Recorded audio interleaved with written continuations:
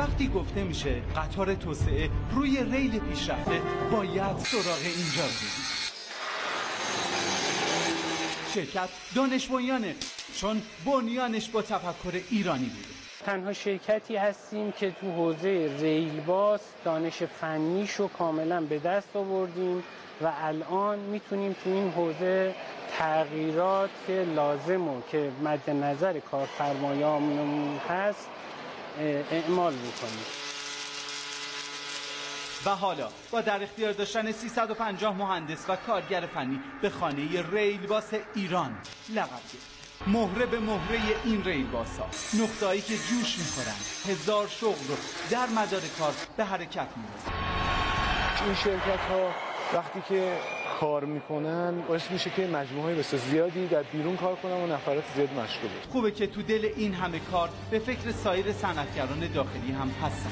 تمام صفر تا صد این واگن ها با افتخار ایرانی.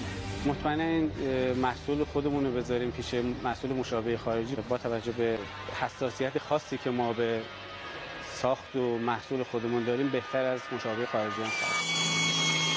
اشتغالی که طی این سالها رو این قطارها اتفاق افتاده و از اون هم مهمتر این دانش فنی که به دست آمده طی چند ماه آینده ما از نسل جدید ریل باز هم رونمایی خواهد شد. 350 واگن در کشور به علت نبود دانش فنی باید از ریل خارج میشه اما با دانش که این جوانها در اختیار گرفتن بازگشت و نونوار شدن قطارهای فرسوده با کمترین هزینه امکان پذیر تونستیم که به بهترین کیفیت توی این محصول برسیم.